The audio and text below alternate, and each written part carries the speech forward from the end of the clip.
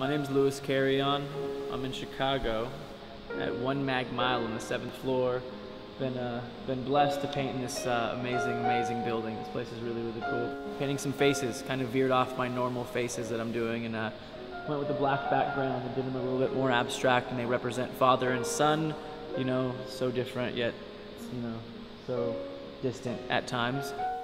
I paint expressionism, contemporary art because it makes me feel good and it's uh, I feel free when I paint.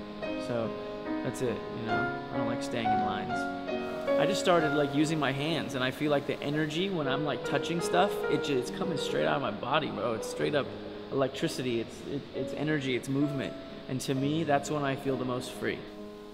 Everything is all weight. You know, if there's too much color up here, I add color down there and I make it look so when your eye settles on it, it settles perfectly, you know, and I keep painting until it weighs. And sometimes it takes me hours, sometimes it takes me days, sometimes I just paint over it and start again.